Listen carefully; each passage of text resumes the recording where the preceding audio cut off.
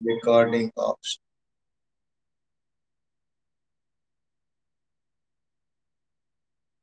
ठीक है। अभी समझते हैं मॉलिकुलर मूवमेंट आपका हो गया। अब आप टॉपिक बनाओगे। मेटाबॉलिज्म मेटाबॉलिज्म मेटाबॉलिज्म दिखाई दे रहा है।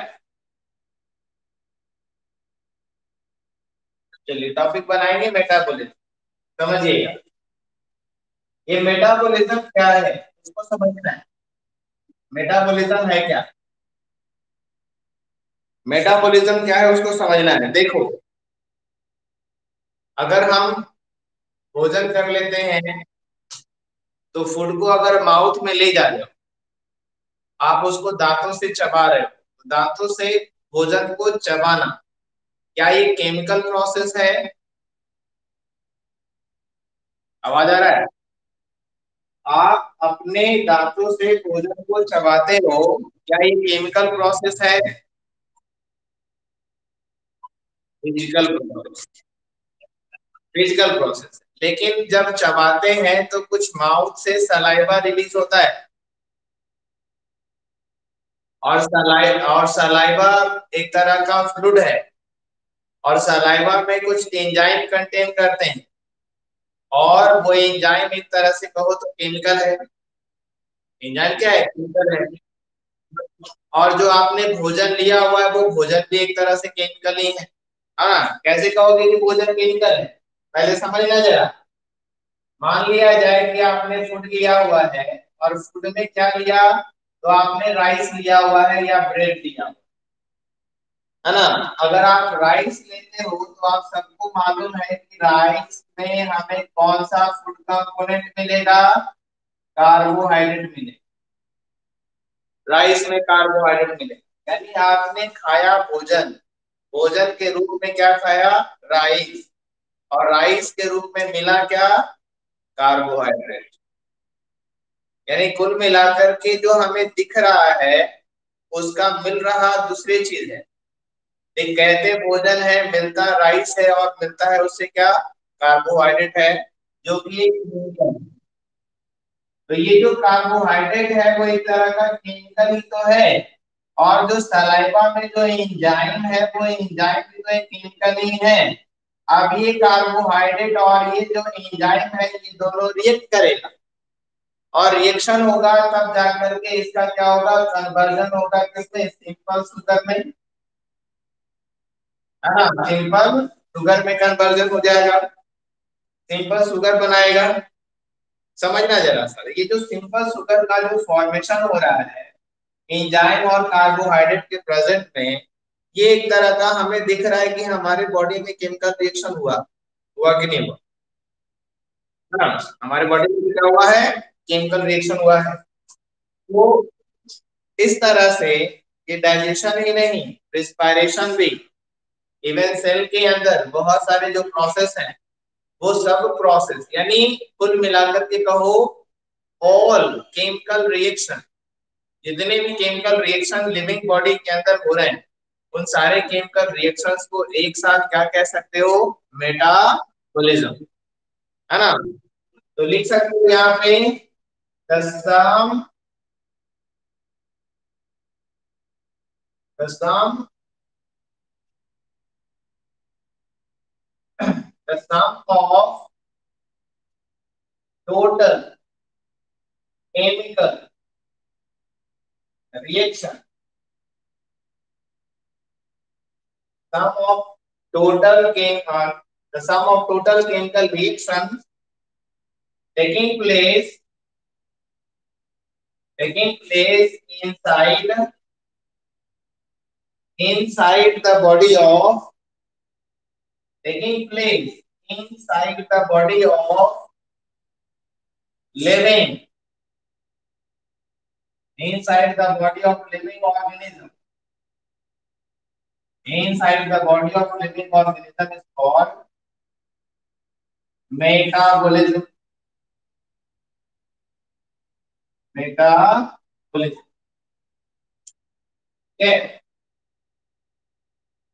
metabolism कह रहे हैं हाँ किसी में भी हो रहा है, चाहे वो सिंगल सेल हो, कोई भी sum of total chemical reaction taking place inside the body of living organism ठीक है? अब लिविंग ऑर्गेनिज्म में आपने पढ़ा हुआ है नाइन्थ क्लास में कि हम लोग जितने भी काम करते हैं बड़ा सा बॉडी काम करता है एक छोटे से सेल के लिए। है ना? कुल मिला के हमारा जो फ़ंक्शन होता है वो किस बेसिस पे होता है? सेल के बेसिस पे ही होता है। ना? माउथ भोजन को यहाँ पे ग्रहण कर रहा है, चबा रहा है, चबा क्यों रहा है? उसको छोटा बनाने के लिए छोटा क्यों बना रहा है? ताकि वो, है ना स्वेल कर सके और स्वेलोइंग क्यों हो रहा? डाइजेशन हो सके। डाइजेशन क्यों क्योंकि ब्लड में जा सके। ब्लड में क्यों गया ताकि ब्लड सेल तक ले जा सके। तो कुल मिला के फ़ंक्शन किसके कारण हो रहा है? सेल तक पहुँचाने के लिए हो रहा है। है ना? तो सम टोटल केमिकल रिएक्शन यानी याद रखना है, जितने भी केमिकल रिएक्शन लिविंग बॉडी में हो रहा है टोटल केमिकल रिएक्शंस को क्या कहते हैं? मेटाबॉलिज्म ठीक है? अब ये जो ये जो मेटाबॉलिज्म है, इसका एक और नाम भी बोलते हैं मेटाबॉलिक एक्टिविटी बोलते हैं। मेटाबॉलिक एक्टिविटी या मेटाबॉलिक मेटाबॉलिक एक्टिविटी या मेटाबॉलिज्म मेटाबॉलिक एक्टिविटी को स्मॉल किया, छोटा नाम दिया गया। और छोटा नाम दे दिया गया तो क्या कहा गया? मेटाबॉलिज्म कहा गया। तो ध्यान देंगे। क्या हुआ? बायोकेमिकल पाथवे ठीक है? बायोकेमिकल पाथवे जो होता है, वो हर एक सेल के लेवल पर होता है। हर एक सेल के लेवल पर होता है और यही बायोकेमिकल रिएक्शन है, जिसको हम मेटाबॉलिज्म कहते हैं। बिल्कुल सही।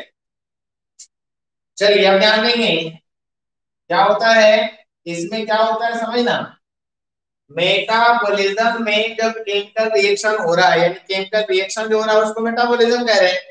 तो केमिकल रिएक्शन में क्या हो सकता है?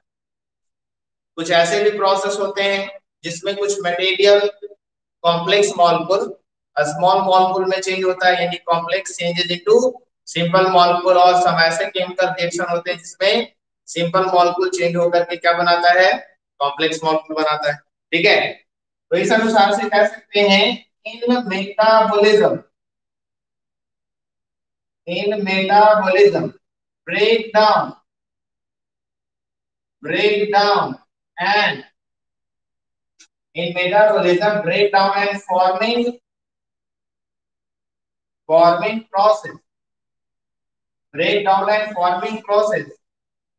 Can taking place.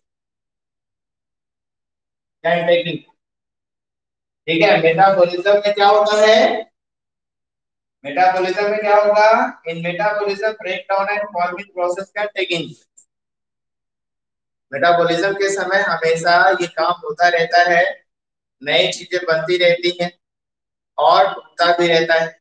तो forming process and break down process होता रहेगा अब ध्यान देना है जरा सा कि ये जो फॉर्मिंग प्रोसेस है और जो ब्रेक डाउन प्रोसेस है, उसको हम क्या कहें ठीक है?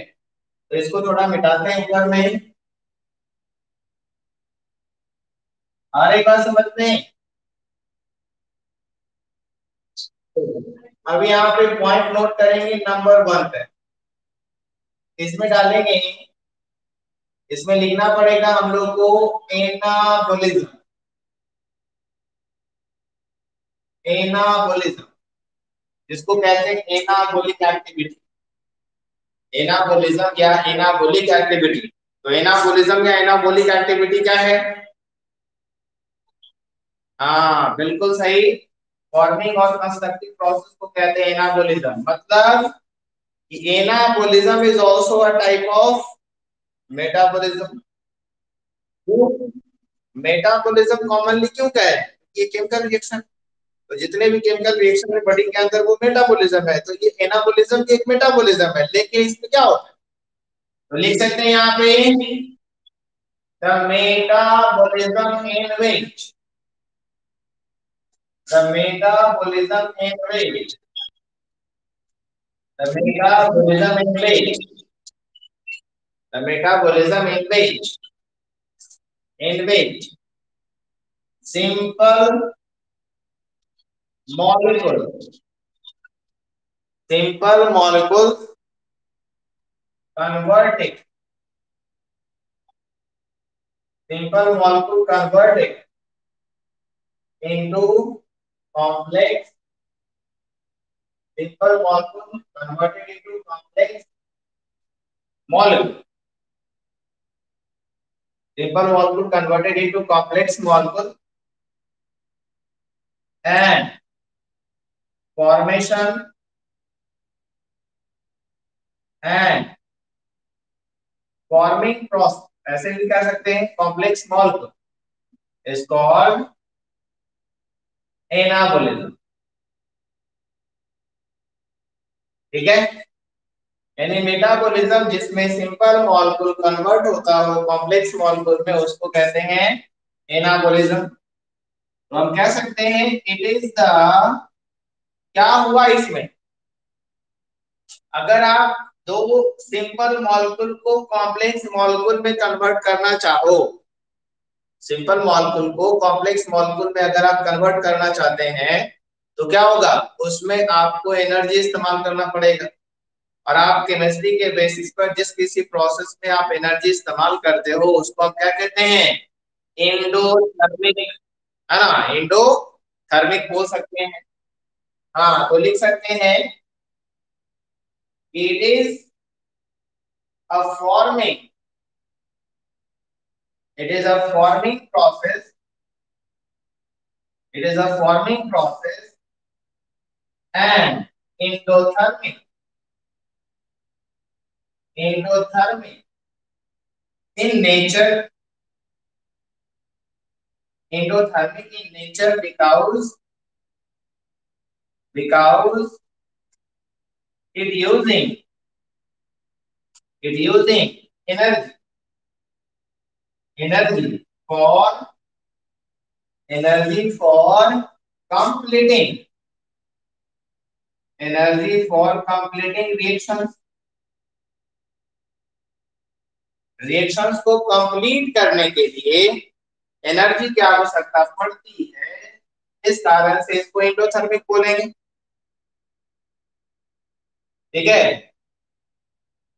अब याद है ना, मैंने कहा था कहा था कि ग्रोथ का जो मेन कारण है वो एनाबोलिज्म है।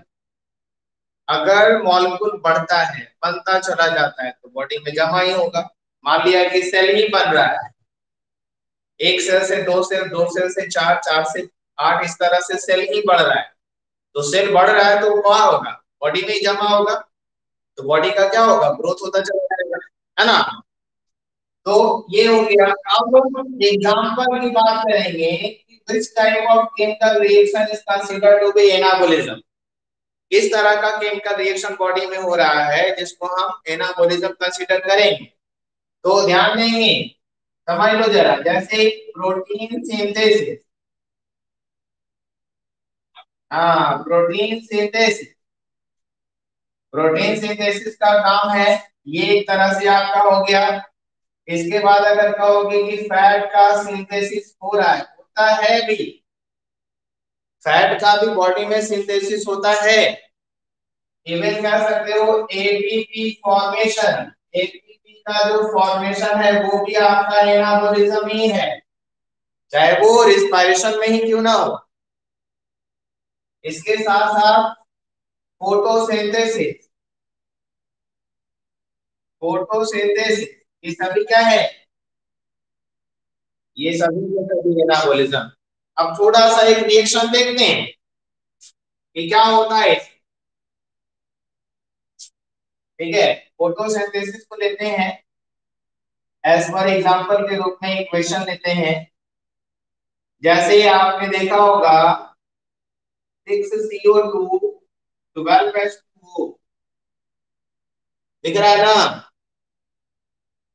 सिक्स सीओ टू हाँ six CO two twelve H two अब सोचो कि सीओ टू भी छोटे मॉलिक्यूल है और वाटर भी छोटा मॉलिक्यूल है।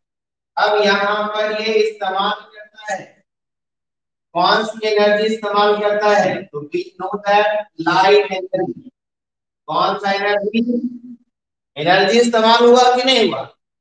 बस इतना ही समझना। एनर्जी इस्तेमाल हुआ और ये कन्वर्ट हो गया में। और क्या बनाया? तो रिलीज़ किया और सिक्स को रिलीज़ किया। ठीक है? हाँ बोलो। अच्छा उधर अच्छी रहा है क्लोरोफिल बच्चा पहले ध्यान रखिए। मैंने कहा, एनर्जी को दिखाने की आवश्यकता यहाँ पे। तो एनर्जी मैंने दिखाया। अगर आप फ़ोटो कंप्लीट करना चाहते हो तो आप क्लोरोफिल लिख दीजिए। आपको दिखाना क्या था?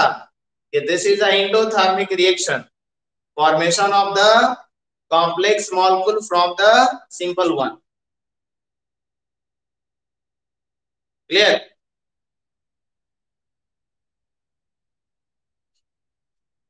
ध्यान देंगे आप आगे बढ़ेंगे इसी को सेकंड करते हैं कैटाबोलिज्म कैटाबोलिज्म क्या होगा? The metabolism in which in which complex molecule converted into simple molecule.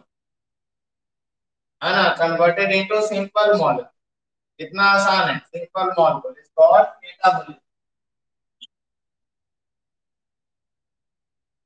catabolism अब ये फॉर्मिंग नहीं, बल्कि डिस्ट्रक्टिव है, ये तोड़ने वाला है।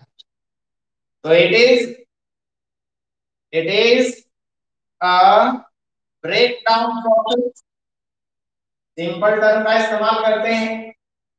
It is a break process and generally क्या होता है? Exothermic exothermic in nature because because it releases because it releases energy for uh, energy energy releases energy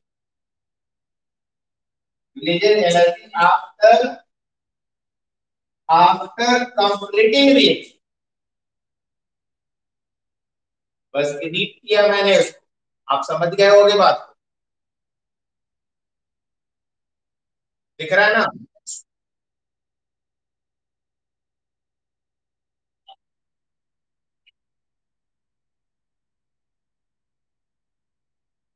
देखो, जब टूटता है तो बेसिकली एनर्जी रिलीज़ करता है। ठीक है? बेसिकली एनर्जी रिलीज़ करता है। और जो एनर्जी तोड़ने के बाद जो निकलता है, वो एनर्जी को हम क्या करते हैं? स्टोर करते हैं। जैसे यहाँ पे प्रोसेस आया था ना एटीपी फॉर्मेशन ठीक है? एटीपी फॉर्मेशन तो यहाँ पे जो रिस्पायरेशन के केस में है तो आगे आप पढ़ोगे रिस्पायरेशन वाले चैप्टर में कि respiration is considered to be endothermic as well as exothermic reaction right question आएगा। हाँ तो क्वेश्चन आएगा। क्वेश्चन आएगा तो आंसर ये हो जाएगा कि पहले तो रिस्पायरेशन में फ़ूड का ऑक्सीडेशन होता है, यानी ब्रेक डाउन होता है। और ब्रेक डाउन होने के बाद जो फ़ूड से एनर्जी निकलती है, उससे फिर एटीपी बनाता है तो टूटने का भी प्रोसेस हुआ और एटीपी बनने का भी प्रोसेस हुआ। तो रिस्पायरेशन क्या हो जाएगा?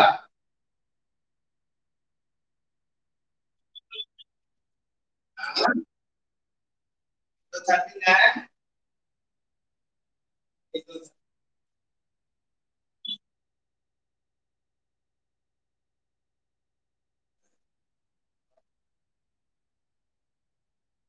है है on. Breakdown catabolism में. क्या? The breakdown of cells breakdown of cells भी हो रहा है तो भी जाकर के कैटाबोलिज्म हो रहा है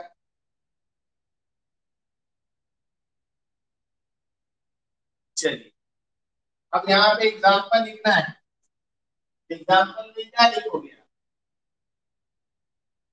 एग्ज़ाम्पल में आप क्या लिखो एग्ज़ाम्पल में लिखेंगे डाइजेशन डाइजेशन ऑफ़ फ़ूड क्या है? एक तरह का रिएक्शन है, इसमें टूटता है। है ना, इसमें टूटने का काम होता है। इसके बाद और बात करेंगे। हाँ? और बताइए डाइजेशन ऑफ़ फ़ूड हो गया। इसके साथ साथ फिर देखोगे? तो रिस्पायरेशन में रिस्पायरेशन को भी हालाँकि वो तो है ही दोनों। बट उसमें भी क्या हो रहा है? कैटाबोलिक रिएक्शन हो रहा है तो रिस्पायरेशन चला जाएगा। ठीक है? इसके बाद बर्निंग अगर करोगे बर्निंग अगर हो रहा है? बर्निंग हो रहा है तो वो भी एक तरह का क्या हो रहा है? रिएक्शन हो रहा है। तो बर्निंग में कोई चीज़ टूट रहा है और टूट के बाद हीट निकल रहा है या एनर्जी निकल रहा है?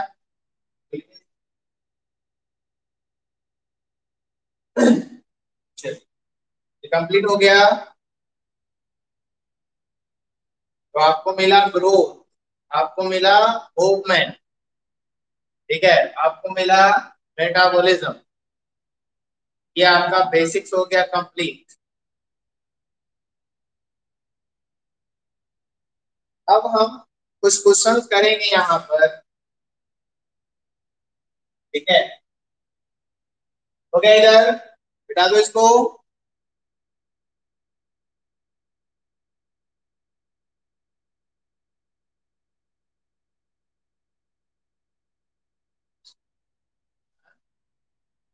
हाँ इतना ही नहीं। इतना ही नहीं। Hydrolysis of hydrolysis of ADP ADP when protein break down. और एसिमिलेशन ऑफ़ ये अमाइनो एसिड अमाइनो एसिड क्या होता है? अमाइनो एसिड क्या होता है? अमोनिया चलो बताते हैं। सुनो। नाइट्रोजन है। है ना? नाइट्रोजन है। ये नाइट्रोजन मिलेगा किसके साथ? हाइड्रोजन के साथ बनाएगा क्या? अमोनिया बनाएगा। अब ये जो अमोनिया है, ये ऑक्सीजन से रिएक्ट करेगा। तब जाकर के बनाएगा क्या? तो ये बनाना, बनाने का काम करेगा, फिर से क्या बनाएगा? फॉर्मेशन करेगा अमाइनो एसिड का। इसका फॉर्मेशन करेगा? अमाइनो एसिड का।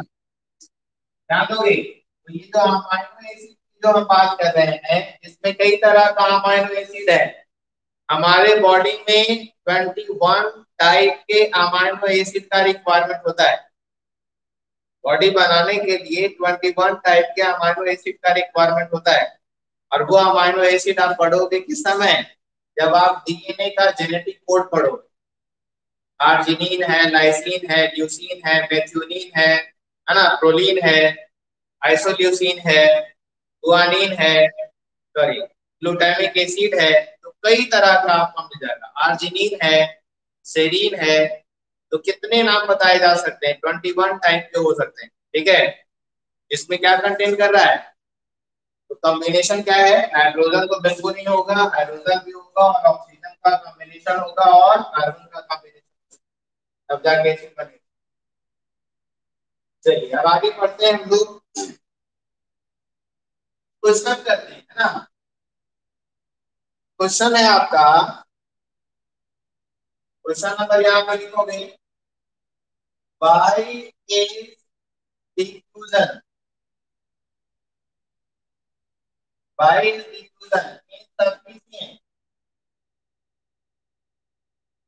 by is diffusion insufficient by is diffusion insufficient to meet the meet the oxygen requirement meet the oxygen requirement in oxygen requirement in multi cellular organisms like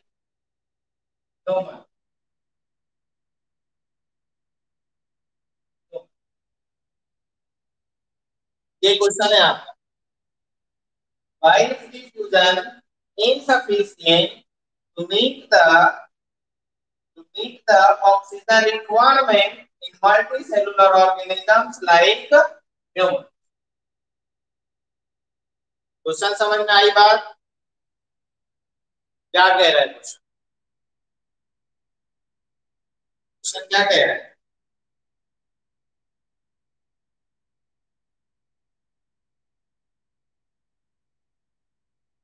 question क्या कह रहा है?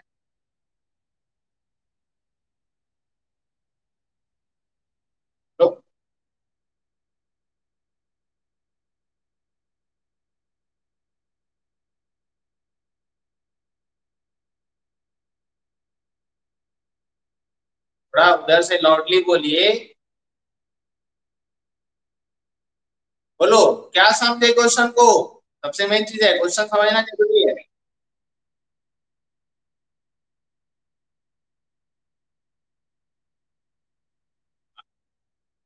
अब चलो, इसको हम कहते हैं मल्टी सेलुलर यानी हम लोग के बॉडी में ऑक्सीजन का रिक्वायरमेंट डिफ्यूजन से पूरा नहीं हो पाता है। के बॉडी में डिफ्यूजन के थ्रू ऑक्सीजन का रिक्वायरमेंट पूरा नहीं हो पाता। क्यों नहीं हो पाता? अगर हम अमूला की बात करें हाँ क्यों नहीं हो पाता? तो हम थोड़ा सा पहले कॉन्सेप्ट बोलो बोलो बोलो।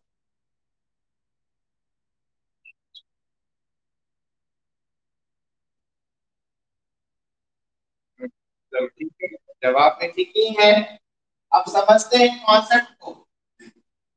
कॉन्सेप्ट ध्यान में आ जाएगा, रटना नहीं पड़ेगा। चलिए समझ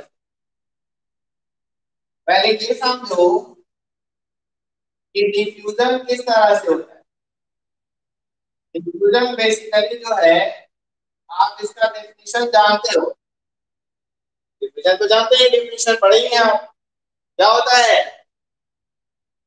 Movement of molecule from to its lower common हो गया। अब यहाँ पे समझना है। तो कैसे होगा डिफ्यूजन तो डिफ्यूजन हमारा जो है, ये ऐसे होता है। सेल टू इन्वायरमेंट डिफ्यूजन हम जो केस ले रहे हैं, उस केस में ऐसे हो रहा है।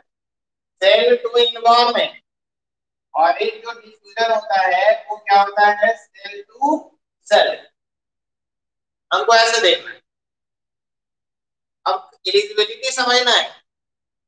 सेल टू इन्वायरमेंट डिफ्यूजन होने की आवश्यकता किसमें है? कैसे हो सकता है? सेल टू इन्वायरमेंट का मतलब है कि अगर कोई सेल है अगर कोई सेल है, जैसे अमीबा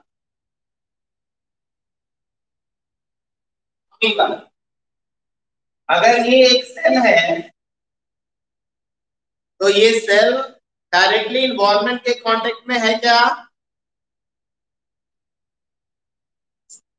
बिल्कुल है। तो अगर जब ये सेल ही डायरेक्टली गवर्नमेंट के कांटेक्ट में है तो अगर सेल के अंदर सेल के अंदर ऑक्सीजन की कमी होगी तो इन्वॉल्वमेंट से ऑक्सीजन चला जाएगा कि नहीं सेल में। कैसे जाएगा? कौन सा प्रोसेस अप्लाई होगा यहाँ पे डायरेक्टली क्यों हो पाया? इसलिए क्योंकि सेल इन्वायरमेंट के डायरेक्ट कांटेक्ट में है। सेल ये सिंगल सेल ये इन्वायरमेंट के डायरेक्ट कांटेक्ट में है, यही कारण है कि यहाँ पे डिफ्यूजन हो पाया। अगर सेल के अंदर में CO2 ज़्यादा हो गया तो CO2 डायरेक्टली क्या करेगा? इन्वायरमेंट में रिलीज़ कर देगा। ऑक्सीजन और CO2 का यहाँ पे जो एक्सचेंज है यूनिसेलुलर ऑर्गेनिज्म में डिफ्यूजन के थ्रू हो पा रहा है। इसका मेन कंडीशन है कि cells of the unicellular organism remains direct contact with the environment direct contact with the environment दूसरा आपकी बात को यहाँ पे लेते हैं। एक ही सेल है। कोई सेल का लेयर नहीं बना हुआ है। तो आसान है कि भाई एक ही सेल में अलग अलग जरूरतें पूरी हो रही है। अब बताइए मल्टी सेलुलर में क्या होता है? मल्टी सेलुलर में क्या होता है? समझिएगा। नोज़ नोज़ से ऑक्सीजन यानी एयर गया। नोज़ के थ्रू सुनो समझो बात को। हम लोग भी इन्वायरमेंट से ले रहे हैं एयर हम लोग में कैसा डिफ्यूजन हो रहा है?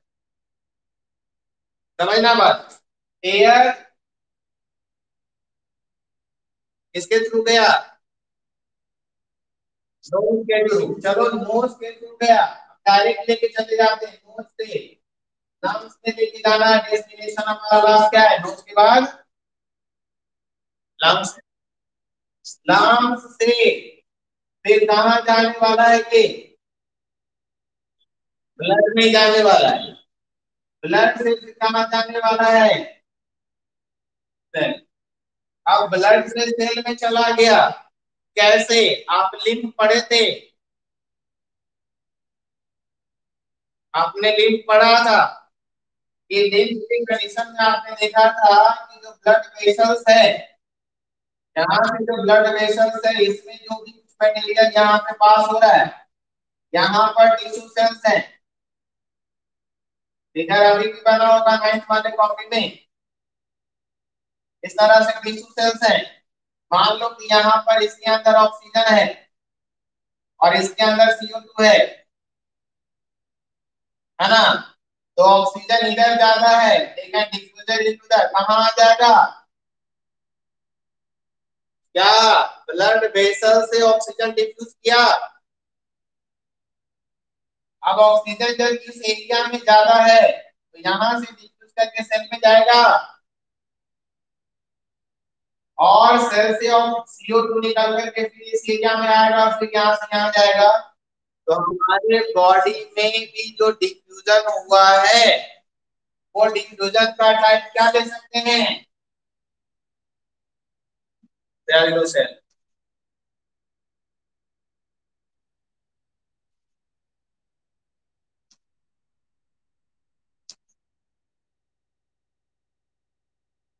आवाज़ कट गई? आ रहा है?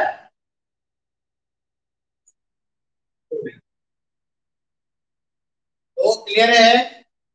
अब बताना ये है यहाँ पर कि आखिरकार हमारे बॉडी में एयर यानी ऑक्सीजन को ब्लड तक ले जाने की आवश्यकता क्यों पड़ी? हमारा बॉडी भी तो इन्वायरमेंट के संपर्क में है है तो। बॉडी इन्वायरमेंट के संपर्क में है ना। यहाँ पर इन्वायरमेंट के संपर्क में है ना। लेकिन क्या इस लेयर से ऑक्सीजन चला जाएगा अंदर बताओ, ये जो पार्ट है, ये क्या है? सेल है, ऑर्गन है, टिश्यू है, क्या है ये? टिश्यू है। पूरे को मिलाओगे तो ऑर्गन हो जाएगा, एक सिंगल मिल रहा है मतलब दिस इज़ द टिश्यू यानी tissue is not the cell cell कह सकते हो। तो मल्टी सेलुलर सेल्स इन्वॉल्वमेंट के डायरेक्ट कांटेक्ट में हुआ क्या? नहीं। तो मेन बेसिक क्या है? मेन बेसिक है मल्टी सेलुलर ऑर्गेनिज्म का सेल्स इन्वॉल्वमेंट के डायरेक्ट कांटेक्ट में नहीं रहता है। So simple diffusion can not meet the oxygen requirement in multi cellular organism क्या समझा? अब याद करना पड़ेगा कि याद हो गया।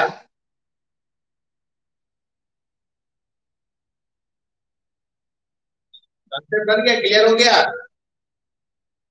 चलिए। इसका आंसर ही यहाँ पे कर लेते हैं। क्या हो जाएगा?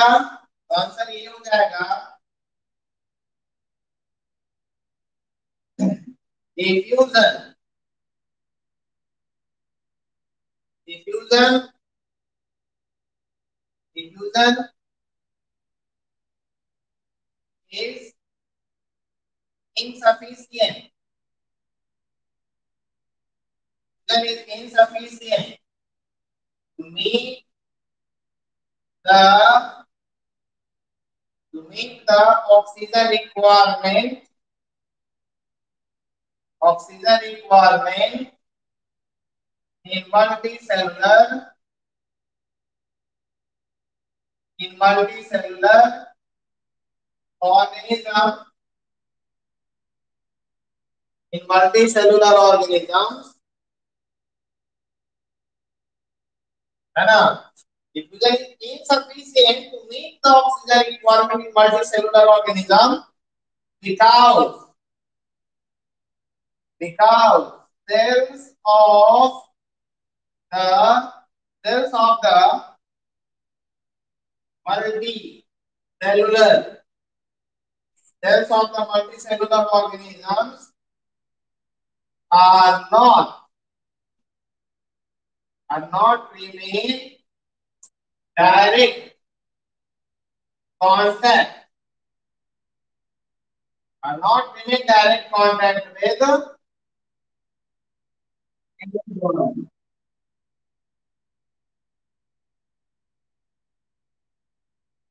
clear अगर इसी से जुड़ा हुआ अगर क्वेश्चन आपसे पूछ दे कि भाई भाई दी यूज़र्स आर पीसीएन यहाँ पे क्वेश्चन बना सकते हैं ना, इसको पहले लिख लो। और कर लिया?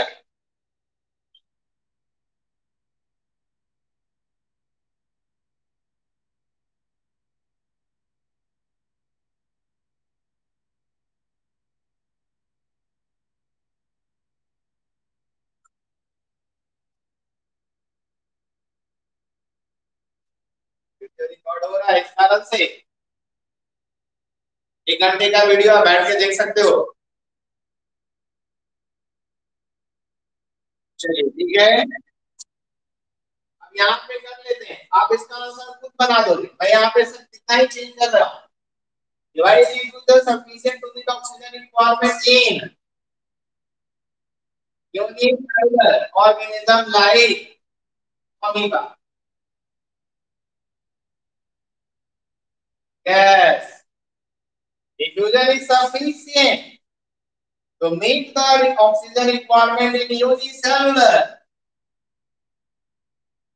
organism because cells of the unicellular organism unicellular organisms are remain remain direct contact with involvement एक टर्म से दो तरीके का क्वेश्चन बना। है ना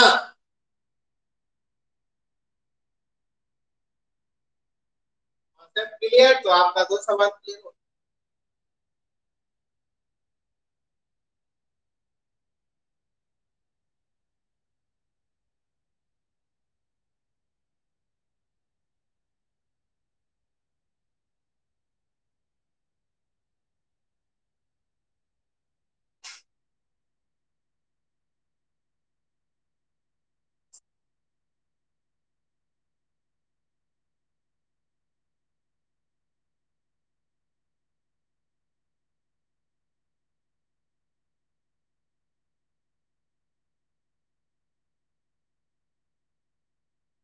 चलिए सही है?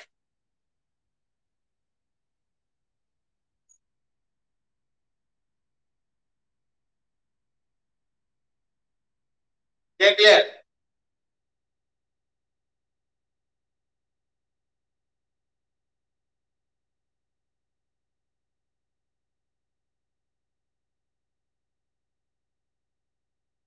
और कर लिए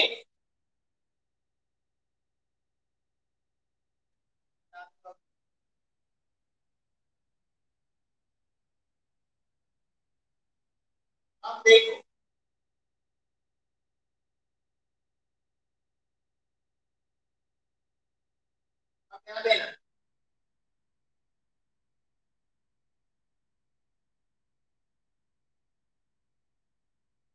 अब एक क्वेश्चन ऐसा भी हो सकता है। क्वेश्चन ये भी हो सकता है।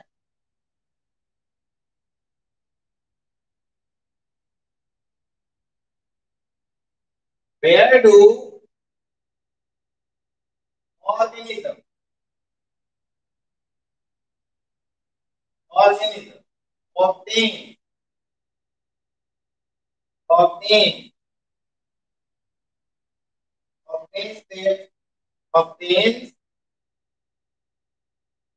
where do organism obtain their food obtains their food or raw material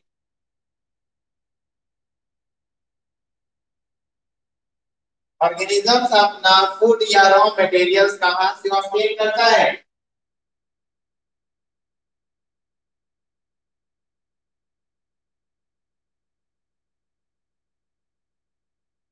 बताओ।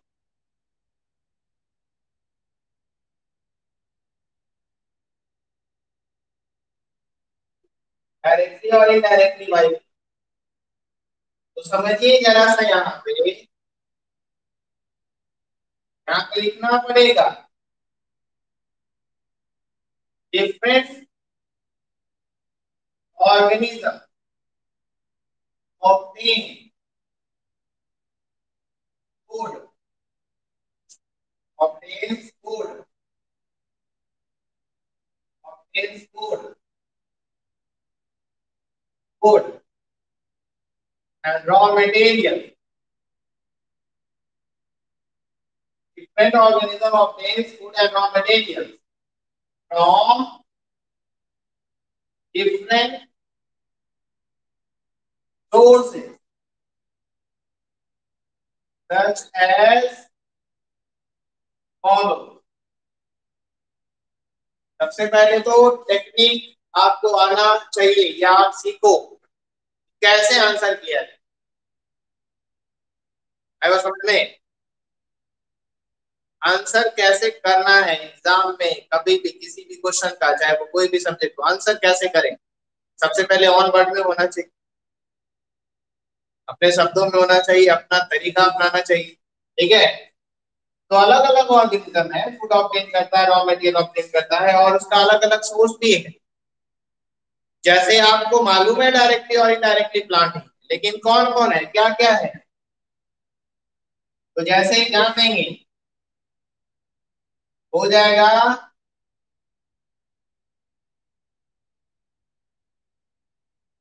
यहाँ पे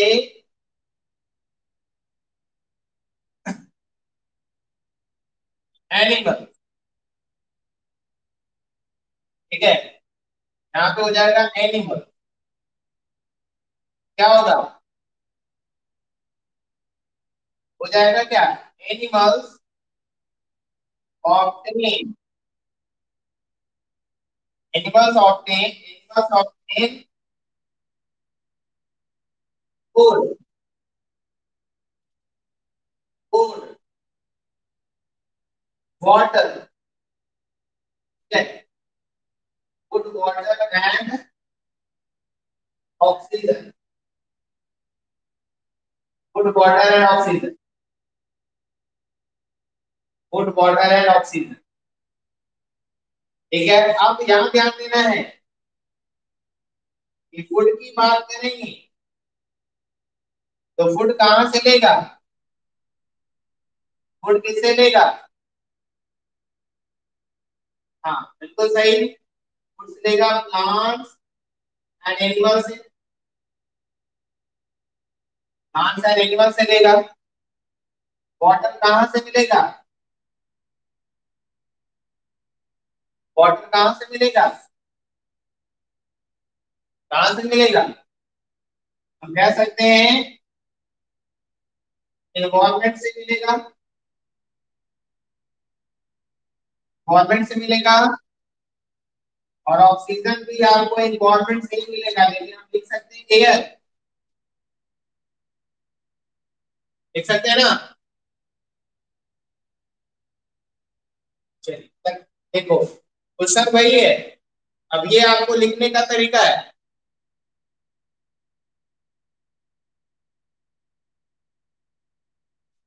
इसको मिटा करके सेकंड टाइप इसमें दूसरा plant plant plants obtain plants obtain CO2 CO2 water CO2 water oxygen CO2 water and oxygen sunlight नहीं this is not the raw material वो प्रेजेंट होना चाहिए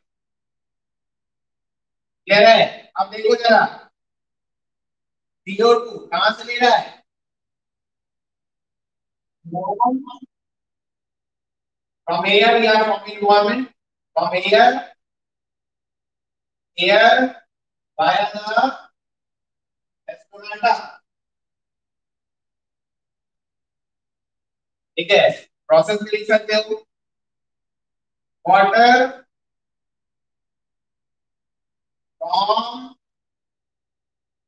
फ्रॉम सॉइल प्लांट में वाटर कहाँ से? हम लोग तो कहीं से ले रहे from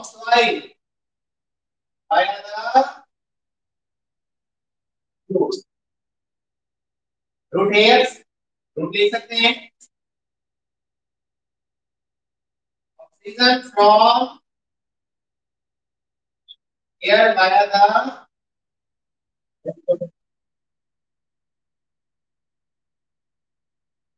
ये बात समझ में है ना?